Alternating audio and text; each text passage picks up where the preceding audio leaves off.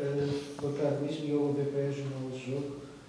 Peço-me a comentar a partida, se esperava um outro tipo de história da sua equipe e também pergunto desde já se há alguma indicação qual é o problema com a existência grave Pois, um, em relação ao Aziz ainda não tenho, não tenho esses, esses dados, sei que, que acaba por ter que sair do jogo, o que foi uma contrariedade para nós também, o nosso melhor marcador.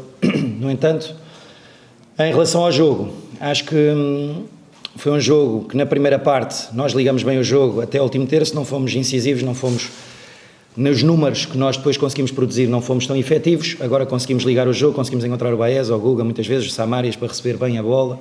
A primeira fase de pressão do Casa P era, era batida com mérito, mas depois faltava claramente ser mais incisivos no último terço e desequilibrar mais uh, e ser mais afoitos no último terço também, para conseguir fazer golo ou para conseguir criar mais perigo Casa Pia cria dois lances de perigo iminente, principalmente por transições ofensivas também pelo Savior, e acaba por uh, ter esse ascendente a nível de oportunidades de gol na primeira parte. Nós finalizamos com o Leonardo Ruiz, uma grande oportunidade também nossa, já instalados, uh, com boa qualidade na circulação. Mas penso que era um jogo equilibrado que pedíamos, e foi isso que pedimos aos jogadores também, tínhamos que ser ainda mais incisivos, acreditar mais, conseguíamos um, eh, fazer o nosso jogo e produzir golos que temos feito neste campeonato, somos, somos uma equipa que tem marcado golos, e precisámos de, de, ser mais incisivos também no último terço. Na segunda parte, um jogo equilibrado outra vez, Casa Pia um pouco com mais bola, mas também sem criar grande perigo. Uh, e a verdade é que marca um gol com o Savior num, num, lance individual, consegue abrir, abrir o marcador num lance individual. A partir daí nós arriscamos, fizemos o que tínhamos a fazer, portanto a equipa balanceou-se mais para a frente, mas basicamente também os jogadores muito mais incisivos naquilo que é a abordagem ao último terço, muito mais perigosos, muito mais uh, um jogo mais aberto com oportunidades principalmente do Rio Ave, podíamos ter feito, tivemos várias situações para, para conseguir ainda fazer melhor. No entanto, demos uma boa resposta a partir do gol sofrido, não, ninguém baixou os braços, ninguém desistiu de tentar, toda a gente tentou ao máximo conseguir o gol do empate.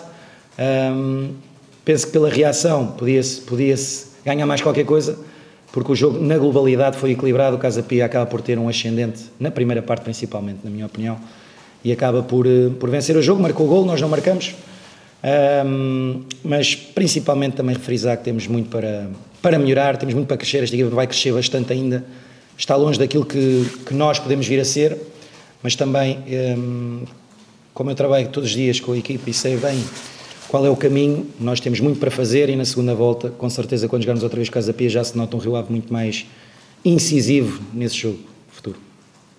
Olá, Mr. Olá. A verdade é que o Rio Ave não consegue somar duas vitórias seguidas. O que é que falta para, para atingir esse boost, para conseguir esse... É assim, nós até agora, pronto, não tínhamos tido a oportunidade de jogar dois jogos seguidos quase, quase. Tivemos Gil Vicente, que íamos ganhando, só no último minuto é que empatamos. Depois ganhamos ao Santa Clara, depois fomos à Luz, antes tínhamos ido a Braga, tínhamos ido ao... Aliás, jogamos com o Braga, com o Sporting, com o Porto, portanto...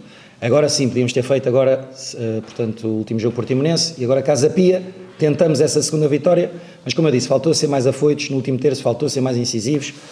Um, e isso um, nós temos que melhorar, ok?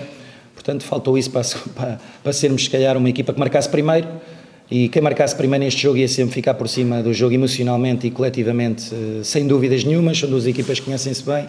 No ano passado ganhamos ao Casa Pia as duas vezes por um zero, portanto sabemos que o primeiro gol era importante, eles abriram o marcador, a partir daí fica difícil em 25 minutos ainda criamos, como eu disse, por, por, às vezes o futebol bola também não, não entra quando a gente quer, portanto não conseguimos fazer o empate uh, e foi isso que faltou. Marcar a primeira era muito importante neste jogo, não conseguimos fazê-lo.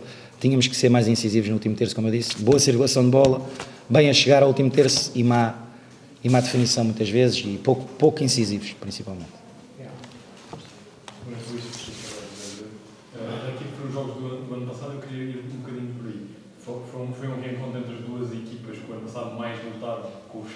Juntamente com o Chaves no final da época, pela subida e pelo título de campeão.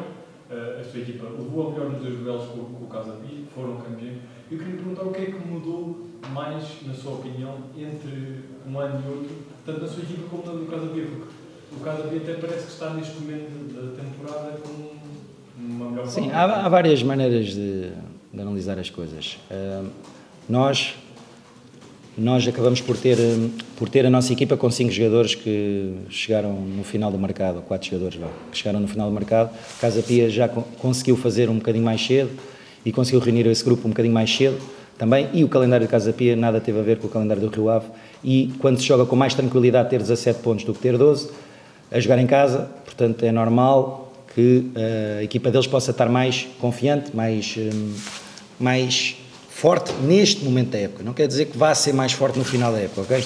Porque isto não é como começa, não é como está a meio, não é como está à décima primeira, vai ser à trigésima quarta. E aí eu confio muito com o grupo que nós formamos e com os jogadores que nós temos e com, com a estrutura que temos e com o trabalho que fazemos, vamos estar claramente lá, lá onde queremos estar, que é nos, nos 10 primeiros lugares e, e possivelmente muito perto também deste adversário. Portanto, não tenho dúvidas que o Rio Ave, ao longo do tempo, uh, vai conseguir essas duas vitórias, vai conseguir ser uma equipa forte, um, mas tem que continuar a crescer e olhar bem para o caminho e, e trabalhar. Trabalhar para, para melhorar. Próximo jogo em casa, temos duas vitórias seguidas em casa, vamos querer a terceira e é isso que nós vamos agora trabalhar é para, para o Boa Vista e para ganhar o Boa Vista.